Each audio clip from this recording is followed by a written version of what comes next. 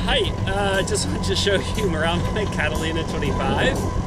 It's a whole number like 1,000, like 80 or something. I mean, it's got the layout that's got um, the seating area, like the kitchen table here, the dinette. That's got the couch here, and then it's also got. If you look, I can show you here too. It's got the like the, the bunk back there, and then as you work your way around through the cabin.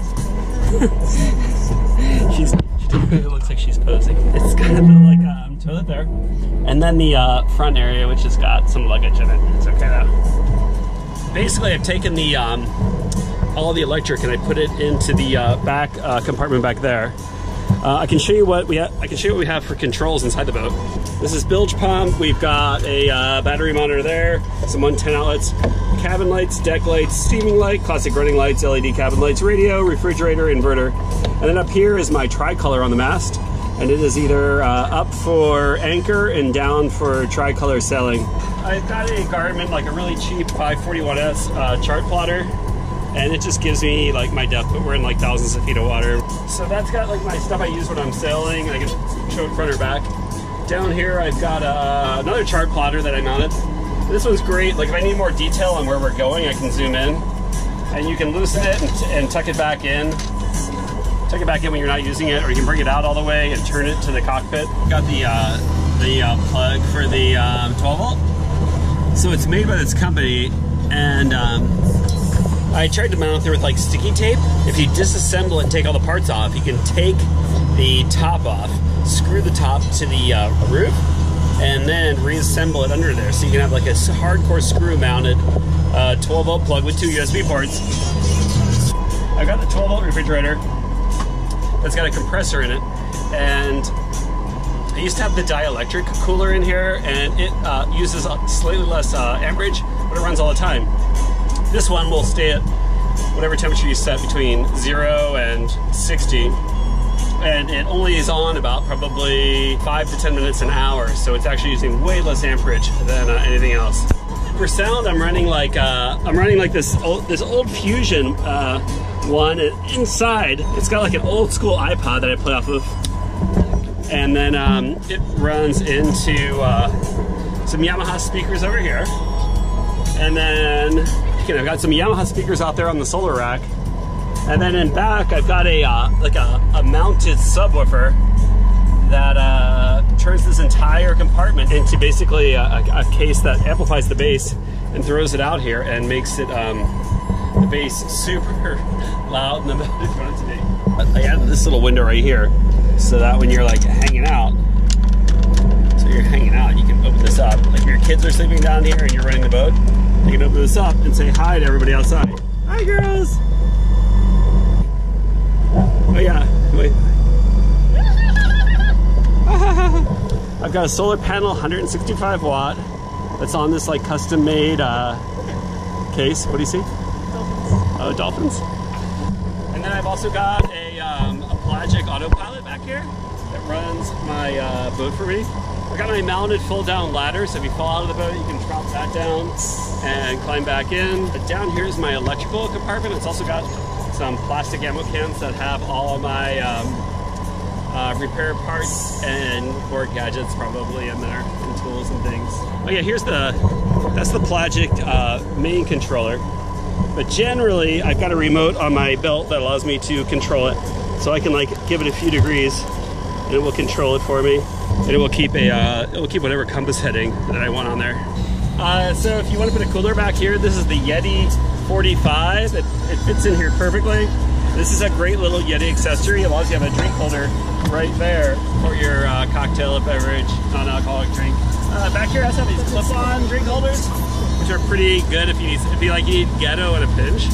These can clip on anywhere, and uh, you've got that going on. I've got the Magma stove. Uh, when I run the boat, I've got the uh, inboard controls right here. Allows me to raise the motor, lower the motor, and do my throttle.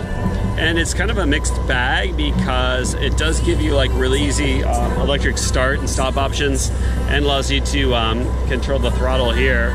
But um, if you're in a low speed and you have to turn the boat, it's really tricky because the motor's fixed. And I only have the, rud the uh, rudder handle, tiller handle I guess it's called, the smart selling people. and uh, not quite as easy to do. So I don't know if it's the right for everyone because in close quarters navigation, it's a total mess. I've got my fire extinguishers here. I've also got a quick release fire extinguisher there. It's a mount that I found on Amazon. It's just like grab, pull, and you have your, your fire extinguisher. It's rock solid in there when you're not using it because I care. Get all these strings out of the way. Because I care about my friends. Keep the fire extinguishers in places where you can stand upright and reach them. Up on the uh, solar rack, I have all my life jackets. So the last point of the boat that's still up in the air will be that life jacket rack. I've got some uh, Maxim instruments that show me uh, temperature. I think the humidity's off a little bit. I gotta fix that one. Barometer, I live at 3,000 feet, so when it comes to sea level, it's all jacked up, but this thing makes the boat smell good, my wife says. And then we've got a, uh, a two burner stove made by Partner Stoves out of Idaho. That's the thing that always blows water into the boat. We have it wrapped with a towel. Sure what the deal is with that. It, it's lots of water in the boat. It's a little wet. So I'm just got a regular toilet here. That's a pump toilet, and then it goes to a holding tank if we need it. And then uh, pretty basic. This area needs to be fixed up. Uh, we've got this little area down here my wife likes for shoes. Kind of her dumping area for all the stuff she wants to keep out of the middle of the boat.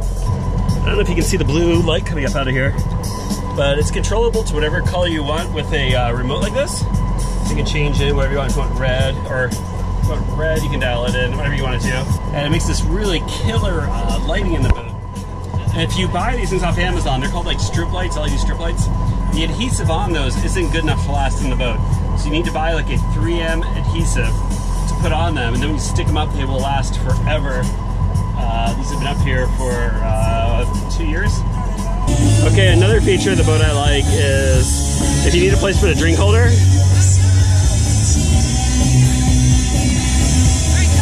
or even a cell phone,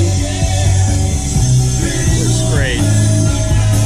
It's like the number one used drink holder in the boat. You can buy these um, bottles that fit perfectly into the racks. You can put it in here like your sipping rum. You can put it in here your Bacardi Limon, and they fit perfectly. They're uh, medical bottles that you can buy from I think 375 milliliters up to like maybe like 750 milliliters. They hold all your stuff perfectly along the line they might need. Seriously. Game changer. Oh, what some people want to see though, I have a pop top. I also have like a uh, traveler mounted over the pop top. And you can bring the pop top down and make it work with this uh, traveler. What you need to do is, is you need to pull these two uh, struts off and then you drop those down and then you tip the uh, pop top and slide it under and then lay it down. It's kind of a two person job to do that. Bungee cord that runs the bottom of the boom. It's got little hooks on it. So you get put your sail away, they're all pretty much there already. And you just pull them around and hook them on all the way up. It makes it so you can quickly and easily put everything together. It's not quite as pretty as some people do things, but I'm about gadgets and not about pretty. Like this, I like function over form, and it functions really well. It's fun. And my friends still love me. Like um, some hex to make our uh, stay covers, nice. We've got a Harken roller furler on here. On the very front, we have a Rockna uh, 10 uh, kilogram anchor, uh, anchor roller. I've got that on there, and um, and they tell you not to drill a hole in this to make it mount, but I did. And so I guess I'm just a bad person. Oh wait, up on the top of the mast too. Wait. Oh wait, I got this connector here. This is like the nine pin connect connector I told you about. Allows me to control the uh, LED light on top. Allows me to control the deck light and the steaming light. And um, yeah, I guess those are all the lights I have up there. So anyway, that's what's up. Hope you uh, enjoyed the tour of this boat. If there's anything I missed, let me know. Comment down below if you have questions. And then uh, uh, subscribe to me if you can, if you're interested at all about seeing more about my boat and stuff we do on it. And then like the video. My, my YouTube channel is all over the place, so you have to just kind of get used to kind of an all over the place YouTube channel about generators and about drone work and stuff. So my friends think it's funny. Maybe might just get over it really fast. anyway, so good. So yes, if you're into a gadget-intensive boat, then um, this boat has those gadgets. And if your boat has more gadgets than this, let me know because I want to know what other gadgets could fit on here without sinking it. And here's this like thing you can buy from Yeti. It's the best thing ever. It's right. It fits right